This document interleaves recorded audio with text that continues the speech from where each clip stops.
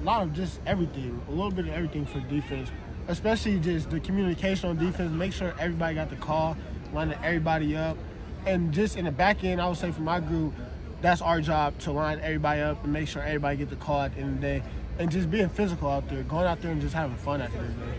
Uh, what are some of the goals that you've had, you know, coming into the spring? Uh, coming into spring, just staying healthy, getting bigger, uh, and just being more of a leader out there for my teammates like they want me to, and the coaches know I can. And really, that's it for me.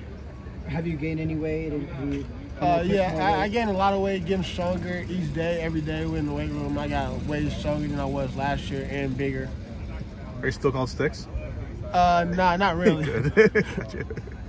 um, where do you want to see yourself kind of grow coming out, out of spring ball and going into fall? Uh, I would say just being more of a captain out there, uh, trying to step out of my comfort zone and not being so quiet and being that leader, that vocal leader that the team wants me to be and they know I can be. And really, that's it, really, for me.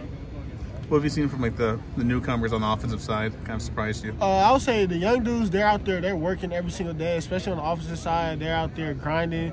They're just having fun playing football, I would say.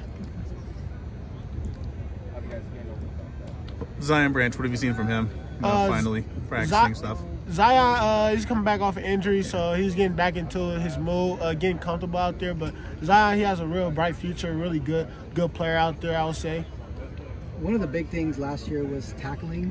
Uh, you know, in spring camp, have you guys put emphasis on that? And if so, like what what have you guys done? Uh, just be before practice, we got uh, tackling circuit. Everybody go around in the circuit, and we we got tackling. Uh, just working on every single day, making sure we get a, a, wrap up in practice, even if it's just a thud period or just a tag off period. Make sure you just go thud somebody up and finish the play.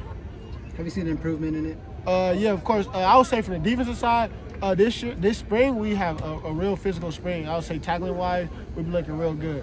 What was the tackling like in in uh, last Saturday's?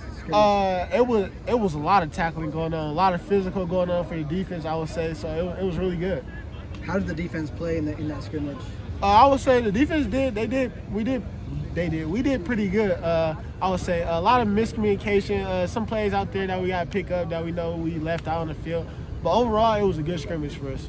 Are you guys looking to do anything differently uh, going into this Saturday? Uh, nah, not really. Just go out there, have fun, play football this Saturday.